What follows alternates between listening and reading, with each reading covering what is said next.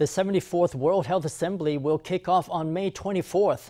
Despite its success in containing COVID, Taiwan is still barred from participating.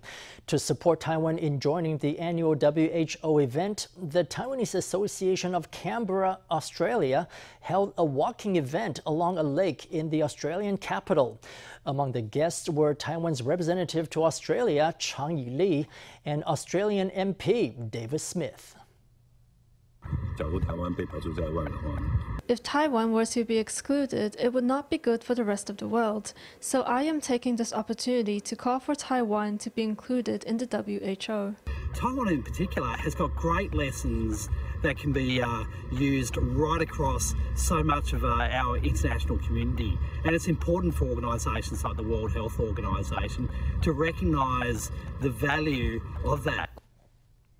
Support for Taiwan to attend the World Health Assembly has been mounting. In France, the U.S. ambassador to France, Brian Aggeler, invited his Taiwanese counterpart, Francois Wu, to a luncheon on April 30th, where Aggeler voiced support for Taiwan to join international organizations such as the WHO.